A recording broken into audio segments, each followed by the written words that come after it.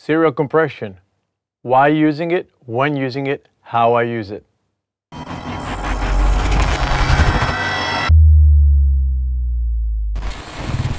Ciao everyone, today we're going to talk about serial compression or multi-gain stage processing.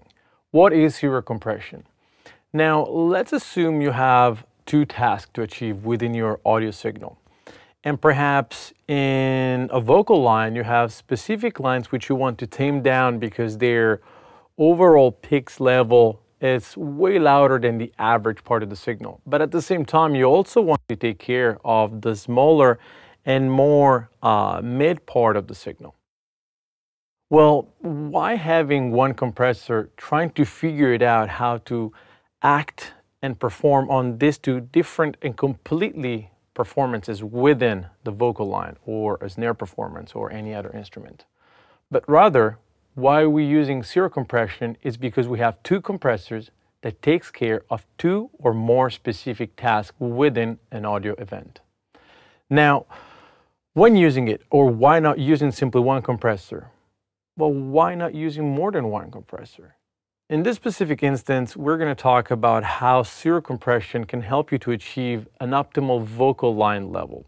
In this example over here, I have a vocal cut by my dear friend and phenomenal performer Chris Classic, one of the best rappers in the game right now.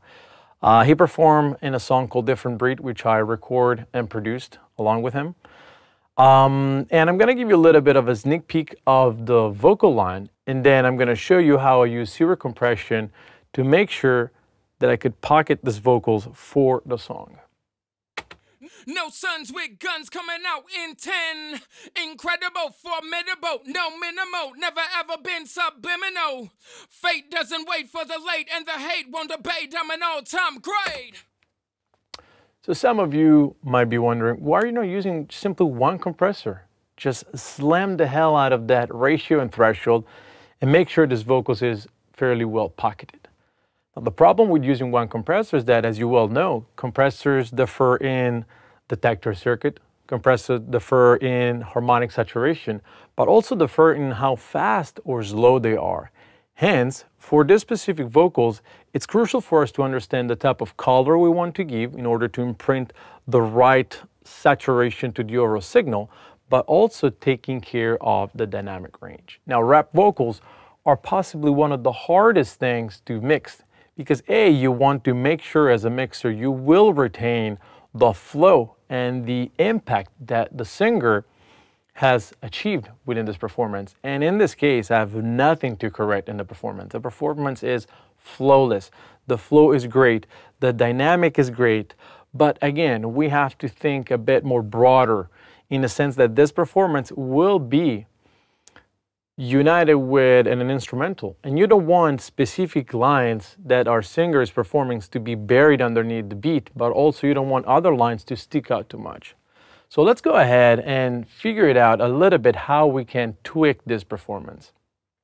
Now in this example, I'm gonna use a classic compressor, which is the 1176 by Universal Audio. In this specific instance, I've chosen uh, Rev A. In this case, is a bluey face. The 1176 makes two different compressors. One is a black face, the other one is the blue face. They differ primarily in harmonic and they differ pretty much in what they can bring forward. So the way you have to think is that compressors in a way work as well almost as an equalizer. They reshape the timbre of a sound. Noticing that the blue face of the Universal Audio 1176 imprint to vocals a much brighter sound as it focuses a bit more on the upper mid range of the vocals. Now the 1176 in this case is a compressor but also a limiter. And this is exactly why I'm using this compressor. But first and foremost, let's go ahead to the previous topic of why not using simply one compressor. Let's see what can I do only with one compressor. No sons with guns coming out in 10. Incredible, formidable, no minimal, never ever been subliminal.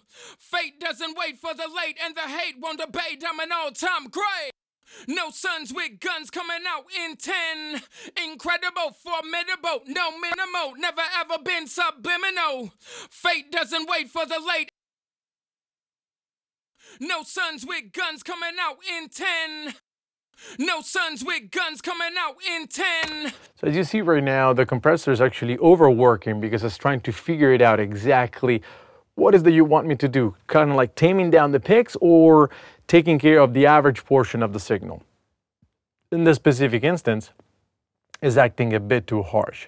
So as I said before, this compressor, the 1176, is a field effect transistor compressor and also allow us to tweak the attack and the release. And this compressor is known for how fast this attack and release envelope work.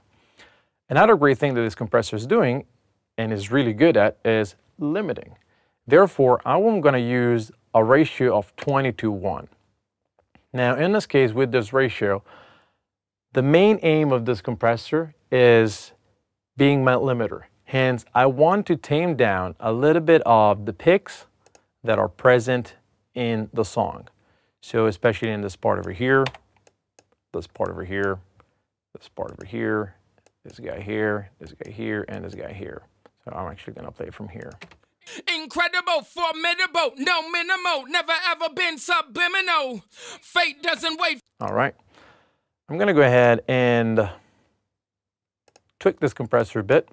So I'm gonna try to work with a very fast attack, very fast release trying to get the compressor only to react to the picks. Incredible, formidable, no minimal, never ever been subliminal. Fate doesn't wait for the late and the hate. Incredible, formidable. Incredible, formidable, no minimal, never ever been subliminal.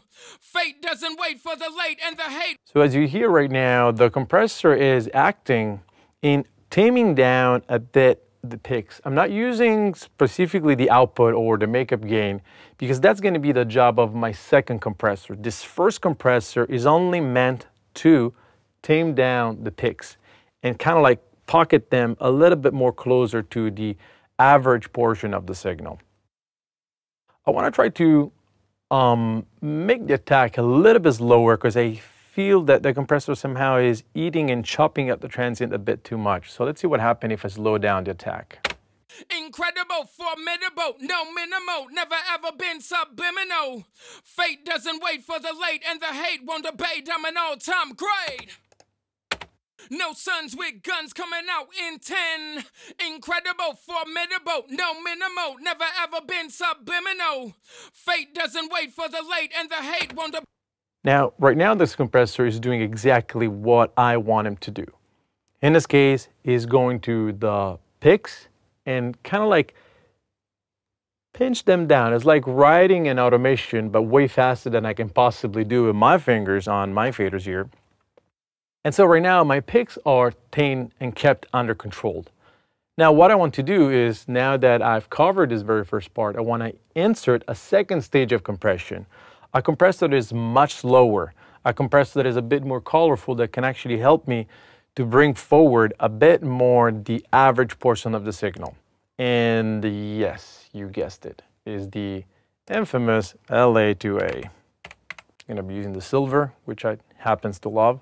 And in this case, I'm gonna be using this compressor, which is a much slower compressor, respecting the field, the field effect transistor compressor, this is a tube compressor. That means that it reacts uh, to the incoming level and the attack and release time are program dependent. Depending on how much gain reduction I will get, the attack and release will vary. So what I want to do is aim for a minus 3 dB of gain reduction. No sons with guns coming out in 10. Incredible, formidable, no minimal, never ever been subliminal. Fate doesn't wait for the late and the hate won't debate. I'm an all time great. No sons with guns coming out in 10. Incredible. All right, I'm gonna bypass here and back. I'm gonna bypass to hear what this compressor is actually adding to the signal. No sons with guns coming out in 10. No sons with guns coming out in 10. Incredible, formidable, no minimal, never ever been subliminal. Fate doesn't wait for the late and the hate won't debate. I'm an all time great. All right. I think right now we have achieved the right pocket for the vocals where we keep a lot of the dynamic that our rapper or vocalist wanted to imprint to the song, but yet we make sure that all these differences in dynamic are well kept under control. I'm gonna let you hear these two compressors on and off. So let me pull them out so that you can see it.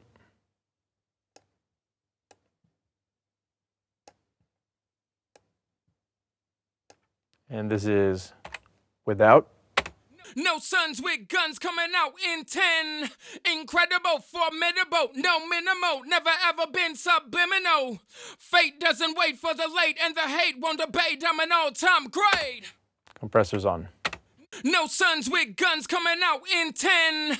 Incredible, formidable, no minimal, never ever been subliminal. Fate doesn't wait for the late, and the hate won't debate. I'm an all time great.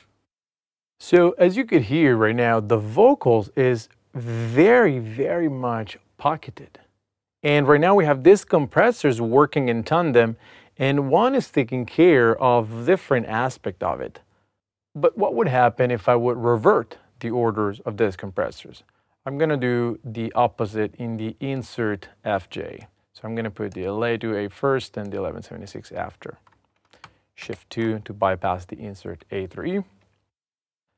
I'm gonna go ahead and open up the uh, LA2A only on my vocals. No sons with guns coming out in 10. Incredible, formidable, no minimal, never ever been subliminal. Fate doesn't wait for the late, and the hate won't debate. I'm a Use my C, using my 1176. No sons with guns coming out in 10.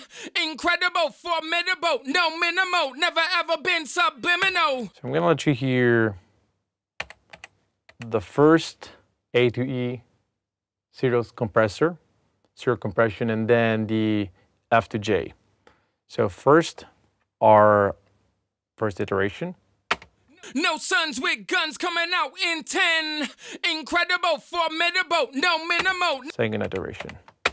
No sons with guns coming out in 10. Incredible, formidable, no minimal, never ever been subliminal. Again, first, No sons with guns coming out in 10. second. No sons with guns coming out in 10. Putting the Teletronix before as our first insert, feeding the 1176 squashes the sound a bit too much due to the fact that the LA2A is actually a much slower compressor. compressor. Right now he is kind of like freaking out a bit too much and squashing the sound a bit. Because again, we have this high peak values that trigger the detector circuits of this compressor, making it react and squashing the dynamic a bit too much. And then if we add a compressor like uh, an 1176 right after, it actually squashes the sound even more. Although, you know, we could have tried smaller ratio. Uh, in this specific instance, this order doesn't really uh, makes a lot of sense. Why did I do that? In a nutshell, I wanted to understand if reverting the order of this compressor would make a better job or not. And again, the, the beauty of mixing is experimenting. So I wanted just to give you this two different approach just for you to really hear what the effect is.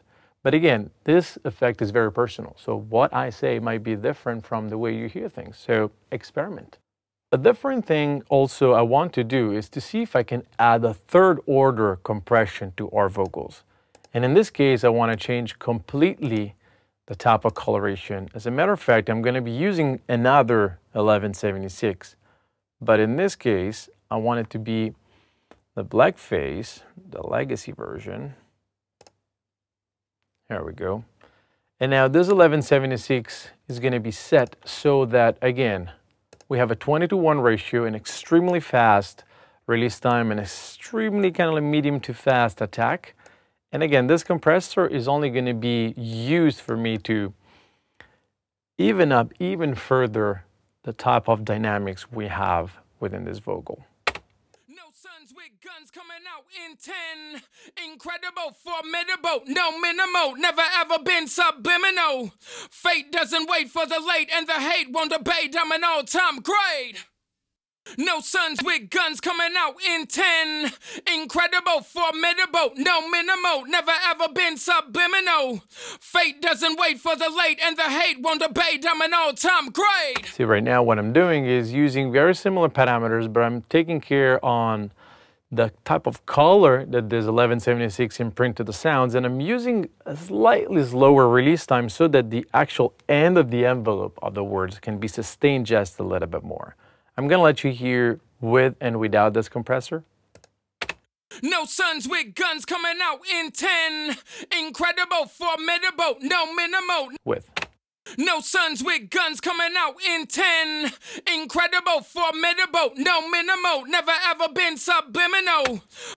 And now the vocals is really pocketed. Again, there is no uh, right or wrong. You have to find the right balance between the type of vision that you have for something that you're about to mix and all the tools that are just simply a color palette for you to actually paint on this beautiful canvas knows as music, known as music.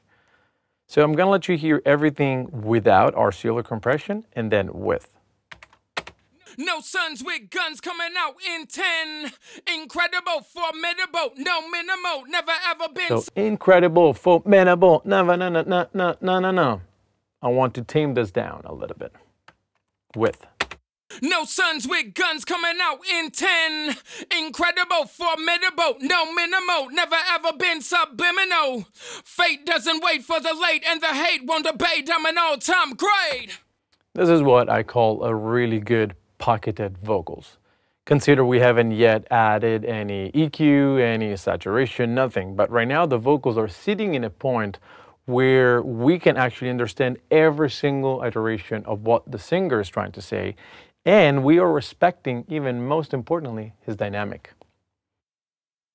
So now you might wonder, all right, this is cool. You have very cool plugins. I don't have these plugins. How can I do this? And can I achieve this with stock plugins? Yes, you can. Let me show you. I'm going to go ahead and just make this plugin inactive and bypass the other two.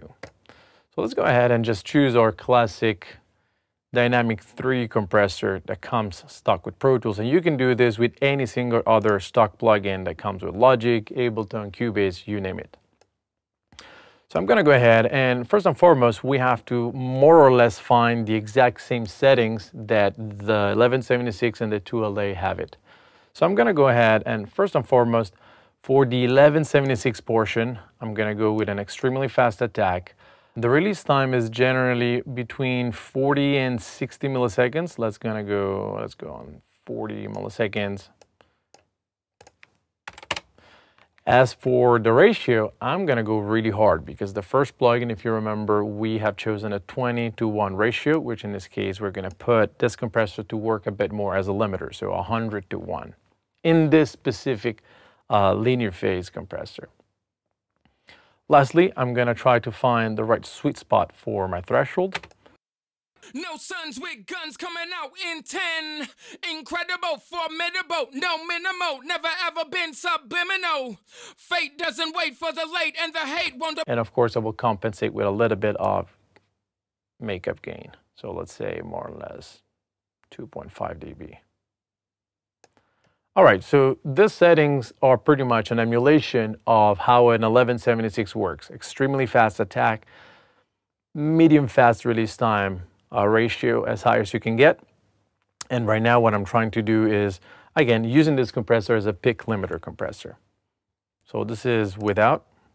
No sons with guns coming out in 10. Incredible, formidable, no minimal, never ever been subliminal. With. No sons with guns coming out in 10. Incredible, formidable, no minimal, never ever been subliminal. So as you can see right now, this compressor is really acting on the picks, but we're kind of like losing, as we had before saw and heard, the kind of like average portion of the signal. What I'm going to do is duplicate this compressor, but this time, of course, I have to change the settings because 1176 and the LA2A works in a very different manner. So for the attack time on the Teletronix LA2A, generally we are close to 10 milliseconds. And for the release time, we are approximately on 64, 63 milliseconds. I'm going to slow down the ratio, let's say 4 to 1. And again here, I will give my 2 dB of make gain and work a little bit with the threshold. So let's put the threshold up. And again, the job of this second compressor in series will be to enhance the average portion of the signal. I'm gonna put up a little bit my knee, with 2 dB. No and sons then, with guns. And then start compressing. No sons with guns coming out in 10. Incredible, formidable, no minimal, never ever been subliminal. Fate doesn't wait for the late, and the hate won't debate. I'm an all time great. All right, so the moment of truth. I'm gonna bypass the stock compressors and hear before and after. No sons with guns coming out in 10. Incredible, formidable, no minimal, never ever been subliminal. No sons with guns coming out in 10. Incredible, formidable, no minimal, never ever been subliminal. Fate doesn't wait for the late, and the hate won't debate. I'm an all time great. So, as you were able to hear in this specific instance, these compressors are doing the exact same thing that our 1176 and 2LA and LA2A were doing. Now, the difference is that, of course, is that the first two compressors we use are actually an emulation of the analog compressors. So they will add a little bit or actually a lot of the harmonic texture that this compressor really have in real life. These stock plugins are primarily linear compressors. So their job is only to take care of the dynamic range. But in terms of sound, if you put them at unity, they won't add anything to the signal. Now, what I want to do is to let you hear a comparison between the analog serial stock compression and the digital serial stock compression. And I'm gonna just leave this up to you. So comment down below what do you think was the best combination of compressors and let me know what you think. Let's start with the analog. So I'm just going to pull up two of my compressors just for you to see it. So we're going to go with analog first, digital after. No sons with guns coming out in 10. Incredible, formidable, no minimal, never ever been subliminal. Fate doesn't wait for the late, and the hate won't debate. I'm an all time great. No sons with guns coming out in 10.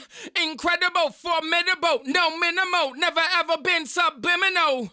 Fate doesn't wait for the late, and the hate won't debate. I'm an all time great. I think they are very similar. The only thing, again, that changes is the timbre that the analog emulations add due to its harmonic distortions. I will just do one final pass and engage them throughout the performance starting with the analog. No sons with guns coming out in 10. Incredible, formidable, no minimal, never ever been subliminal. Fate doesn't wait for the late, and the hate won't debate. I'm an all time great. You have no excuses. Now you see that even stock plugins can actually achieve a great results and a great deal of sound. So it's up to you to experiment. But what I want you to understand is how important it is to really think on what is that you want to achieve. What are the tasks that needs to be addressed within an audio signal and what type of compressors or gain processor I could use to achieve that. I'm going to move on to a different example right now. Let's try to take a bass line, for example, and apply the exact same techniques. So for my bass right now, I'm gonna be using the exact same approach, just changing a little bit the orders or the style of compressor. I'm gonna go ahead and again choose an 1176. But this time I will actually start with a black face on my compressor. Now, why am I using a black face? As I said before, in this case, the black key imprints a bit more color and texture to the lower mid part of the signal. And since we're dealing with a bass guitar, this is exactly what I want to do. But before I even start tweaking the bass, I'm gonna let you hear a little bit of this performance.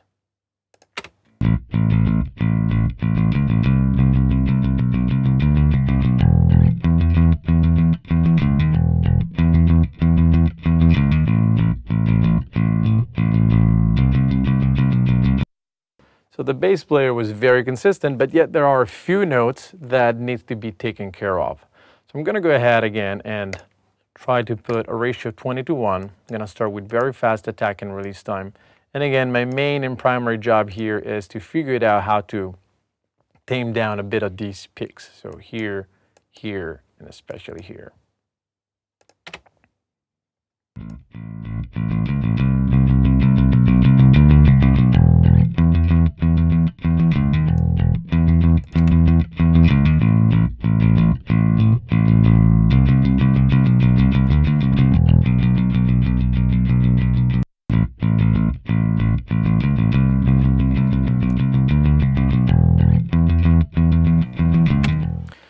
Again, as you can see right now, the compressor is spiking out and kind of like taming down only the loudest portion of the signal, which are primarily these peaks over here, a little bit of this peak, and this peak over here when it just goes down on the fret. I'm gonna let you hear before and after.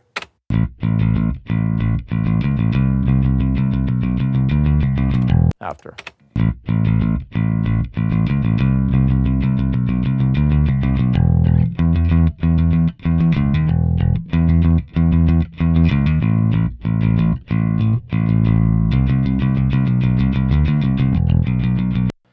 Can see right now, the compressor is actually squashing it down these peaks. But now how can it bring forward the average part of the signal? You already know. Let's add a serial compressor here. And let's do an LA2A. See if I find it. Let's go with the silver again. And what I want to do is to enhance a bit more the rest of the notes of this bass.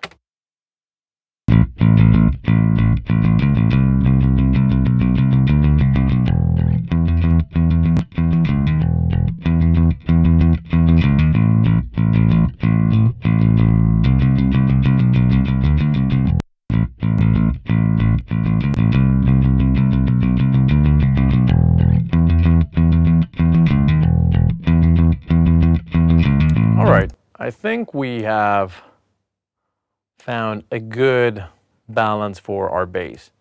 I'm gonna go ahead and let you hear the bass first without the zero compression and then with.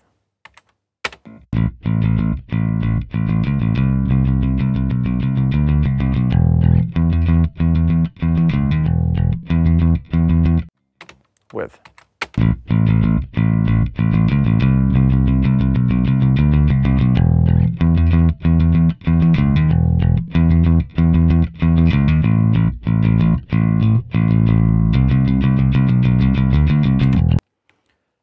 As you have noticed right now, serial compression is a great, great way for us to really figure a balance between the peaks and the average portion of the signal.